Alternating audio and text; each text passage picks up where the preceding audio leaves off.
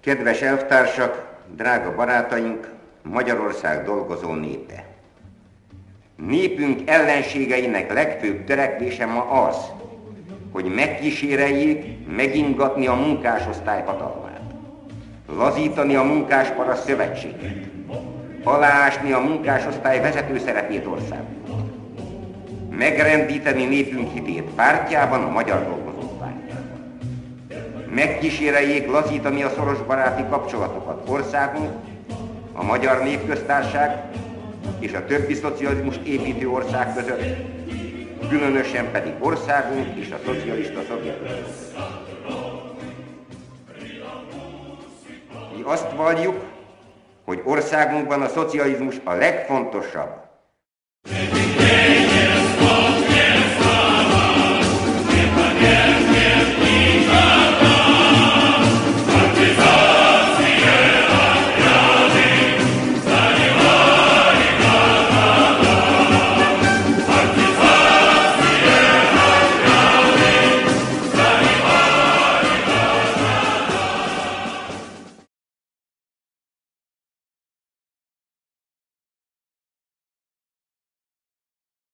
Hát emlékszem, a, sütött a nap, jó idő volt a udvaron, ott gurigáztam lefele.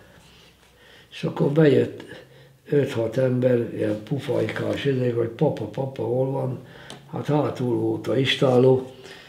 Mondtam, nem annyit tudtam, hogy papa, hát mondom, apám pont ott volt, etette az állatokat.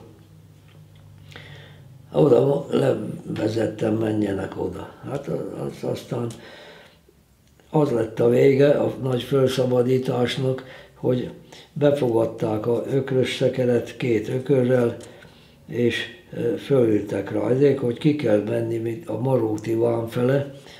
Hát odáig apám kiment, ott lelökték a kocsiról, segbe rúgták, elzavarták, jó, hogy nem lőtték le, elvitték ökröt, mindent szakompak.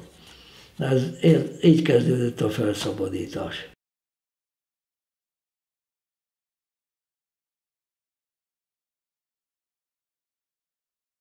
A délután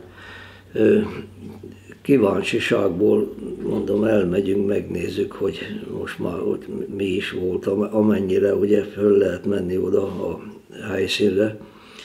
És hát a város központban már ma ott, hát sok helyen ilyen csoportok jöttek, vagyis ácsorogtak, meg, meg mozogtak, jöttek, mentek, és akkor mondja ott egyik egyik ember, hogy, hogy átlőtték a, a nadrágját. Mutatta is, hogy a bokája fölött a két luk volt a nadrágon keresztül, de a lábát nem érte szerencsére a lövés. És akkor még onnan a ismerősömmel, akivel találkoztunk ott, vagy még a utcába, a mi utcánkba, onnan velünk szembe lakott, és akkor együtt mentünk föl.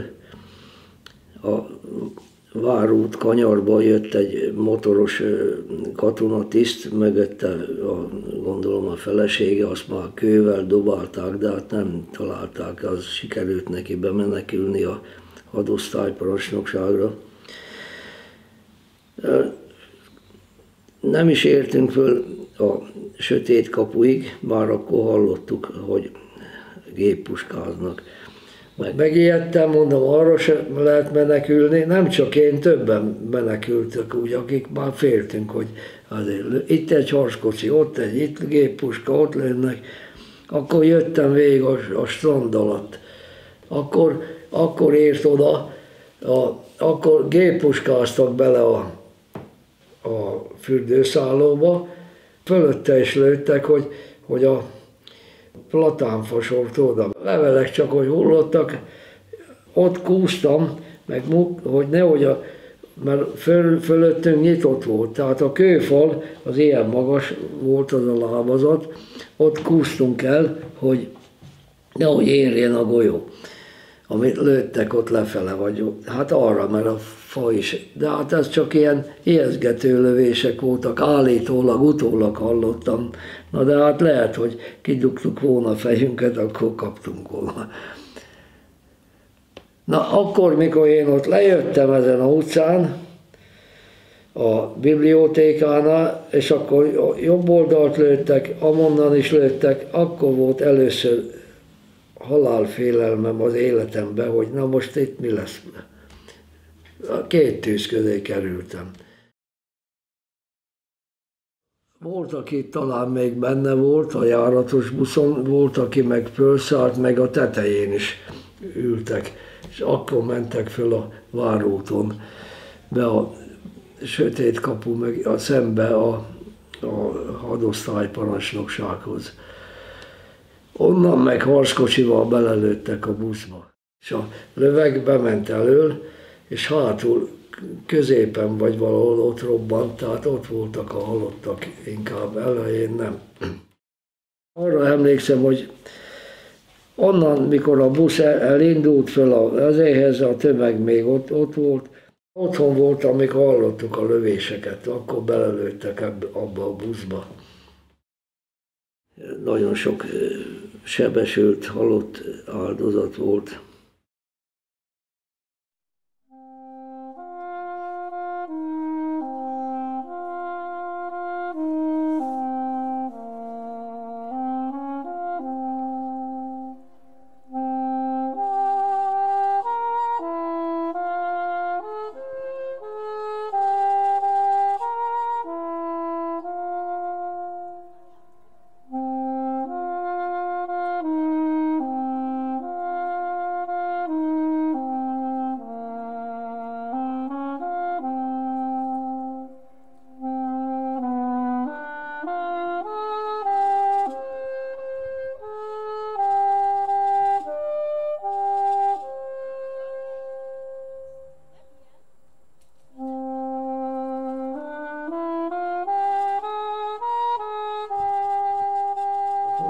Szele, ahogy, ahogy megütött bennünket, és ez a mai napig is, a, akik tényleg átélték, és, és a forradalom oldalán voltak, ez, ez nem múlik el.